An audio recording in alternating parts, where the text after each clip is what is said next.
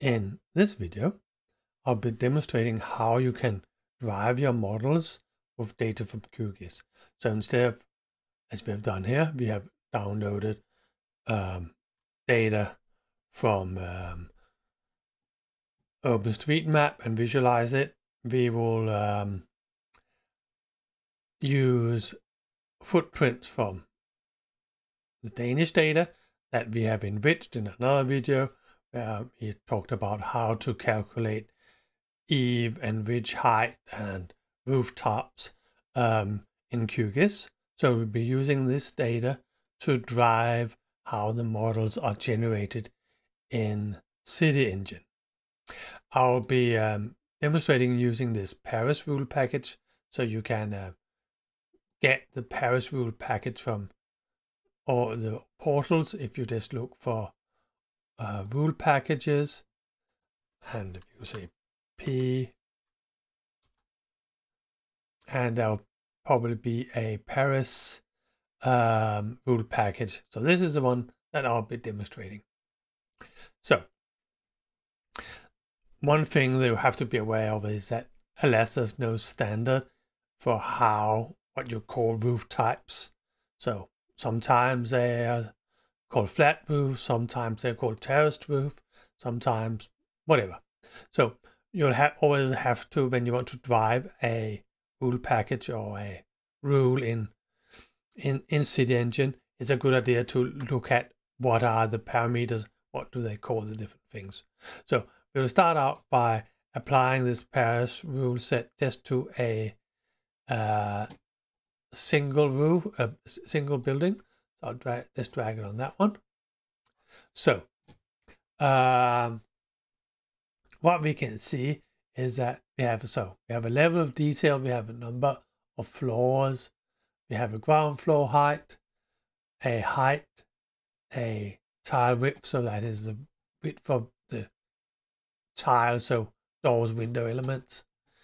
We have um, the year so that's something that controls the architecture of it. So if I have a, uh, let's say, uh, a modern building, it will change its its look depending on the year that I chose. So it has a year, and it has a uh, roof, and here we can have a hip, gable, mansard, gable, and terraced. So these are the names that they use for the rooftops, which types of roof there's there. So we have to make sure that the names that we use are the same as these because the basic of this is that any of these modeling attributes here can be managed by controlled by an attribute in the dataset. But the trick is that down here it says connected attribute. So I can connect to a data set that's underlying. So um, let's um, create a data set that is in QGIS that can match some of these um, attributes here and help us generate our model. So on QGIS, on the video on calculating 3D building data in QGIS, we uh, created this data set here, a GeoPackage, and um, we have, let's just open its attribute table. Uh,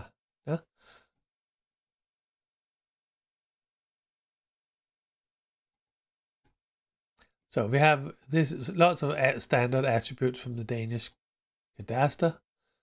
Um, what's interesting is what do we call all of these uh, different layer uh, types of of rooftops here? So hip and steep and flat. I think these are the ones I've been using, and they're not really called that in the model.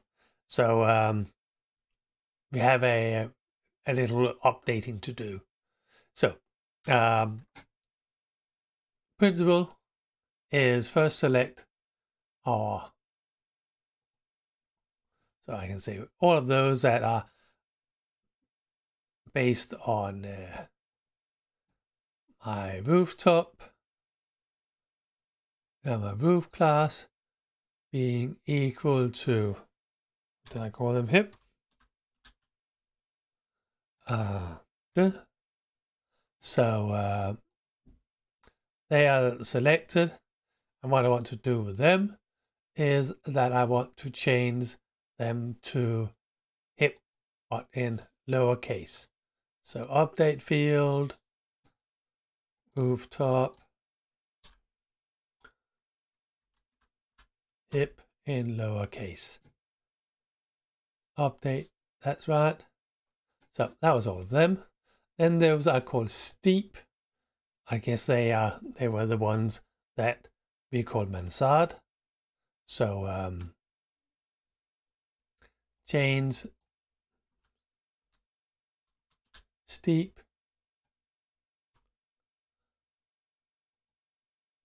and uh, just to check what they are called in the modeling. So here they are called mansard, yeah? So we will update them. to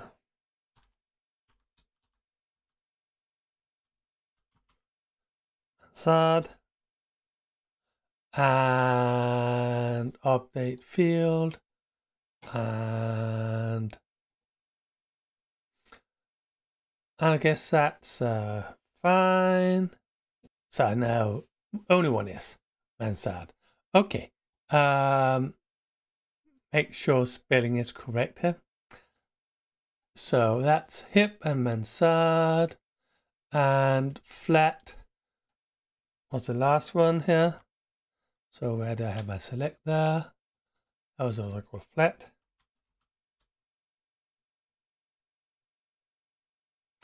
And select them and update them.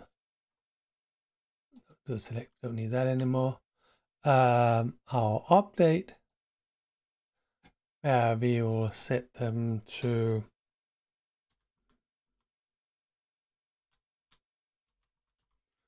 um, I think they were called. And just make sure that the name is correct. So they were not terrace but terrace um, and update them.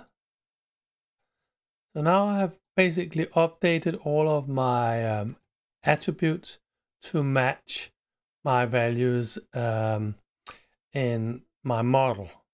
So finished, save the data to my geodatabase, make sure I have nothing selected and export my data to a format that they can read and that will be shape format um, good old shape and I'll just call them buildings. Buildings. Make sure that the coordinate system is the same as the coordinate system in your CityEngine. And that's it.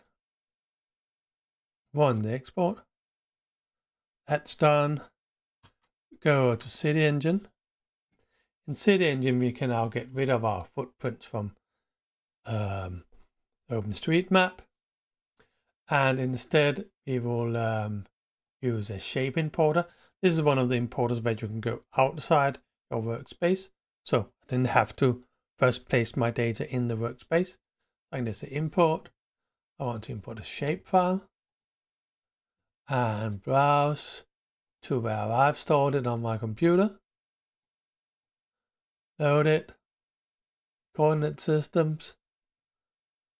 And all will.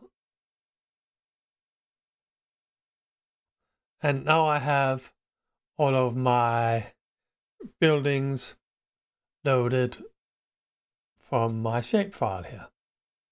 They are selected at the moment. So while they select, I might as well just take my Paris rule pack and drag onto one of them. So that's applied. it will start generating the model. Um, and um, of course, that's not necessarily super fantastic. So I will, while I'm just working, I will turn off models. And what we now want to do is that we want to change the settings. Yeah, I want to have high detail, floor, well, I don't know how many floors there is, but I do know how tall the buildings are. So given that the floor height, it can calculate the number of floors. So this one I can set as a connected attribute. So now it will ask me to where do I want to get the data. And unless that there's if there had been a attribute that had been named height, it would automatically have found it. In this case, I'll have to go out and say, uh, so these are my shape buildings. And the height is my max height from when I did my calculations.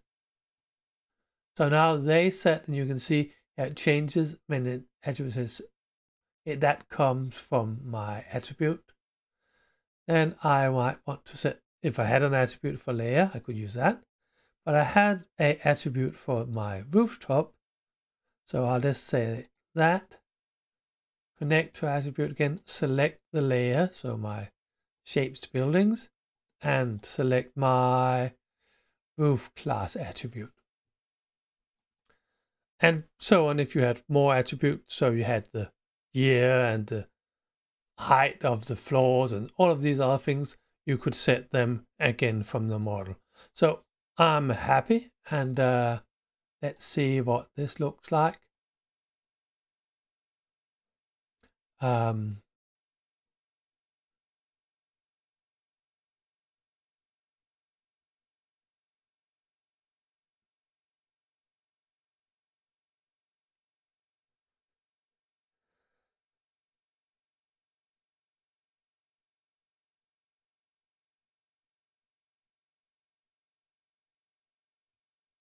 So now my models are finished generating.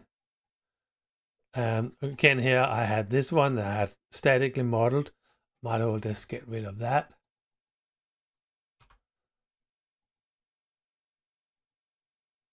So, so now I have um, all of my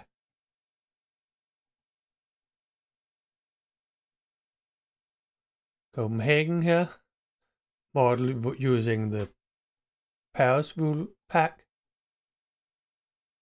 Um, of course, I haven't set the year to of the buildings. I could have if I hadn't had that knowledge, but I have set the roof type and the height of the buildings from my QGIS data. So they all have different heights, as you can see, and different types of roofs.